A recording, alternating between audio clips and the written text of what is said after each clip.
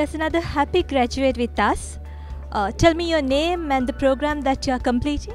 Uh, my name is Yovinma Konara and I'm com- and I've completed foundation engineering.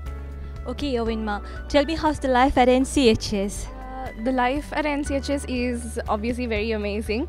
Um, it's given me so many opportunities since, first of all, I only came to Navaloka as uh, a candidate of O levels, which means that I couldn't do my A levels. So in order for in order for me to uh, sort of get the higher achievements like something regarding higher education Navaloka college has really helped me by uh, allowing me to take part in the foundation course and uh, move on to my diploma in IT as well Okay, and how does this graduation make you feel, Yovinma? uh, honestly a bit thrilled and a little bit scared because uh, time just passes by and you can't just like it's really hard to grasp the fact that uh, time's going so fast uh, but overall very excited very happy for myself and also for the other graduates as well Thank you so much.